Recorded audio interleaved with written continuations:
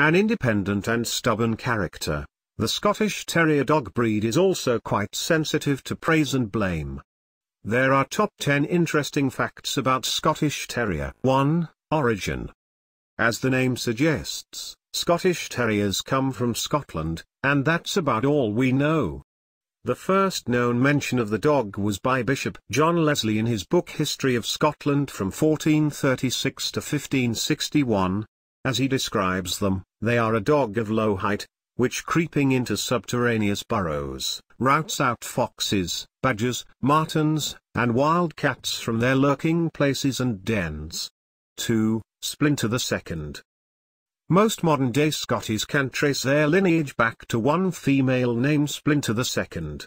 She was owned by J. H. Ludlow, founder of the Scottish Terrier Club of England. She's considered the mother of the breed. 3. Ratters. Scotties are a kind of terrier, meaning they were bred to burrow. The name terrier comes from terra, meaning earth, because they go to ground. Strong-willed and fierce, the dogs were used to clear out vermin from buildings and drive badgers from their homes. When facing something as fierce as a badger, on its home turf, no less, the dogs needed to be tough and recklessly brave. At one point, an author earnestly speculated that Scotties may have originated from bears instead of dogs. 4. Personality. Friendly and playful as a puppy, the Scottish Terrier matures into a bold, jaunty, yet steady and dignified adult, with greater independence than most terriers. He is staunchly self-reliant and fearless, also dour and crusty at times. 5. Digging. Scotties are born diggers. Terriers were bred to dig and find prey, so it makes sense that they would be compelled to hit the dirt. Even if your Scottie is not a hunter, they might dig for comfort or out of boredom.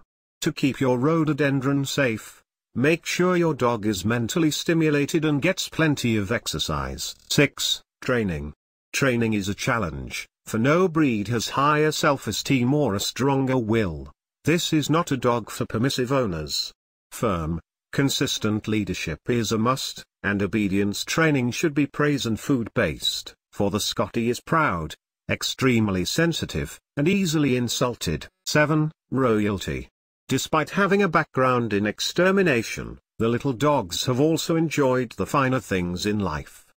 King James VI of Scotland was a huge fan of the Scottish Terrier in the 17th century and helped popularise them in Europe.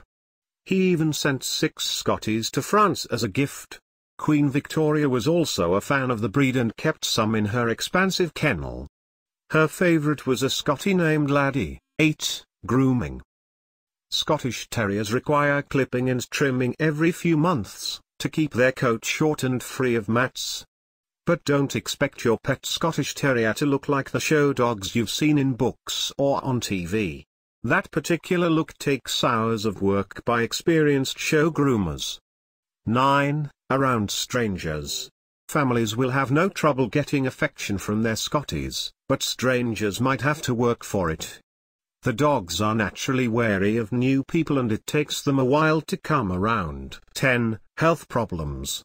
From bleeding disorders to joint disorders to autoimmune diseases to allergies and skin conditions, Scottish Terriers are risky in the health dipper. Thanks for watching. Make sure to like the video and subscribe to our channel.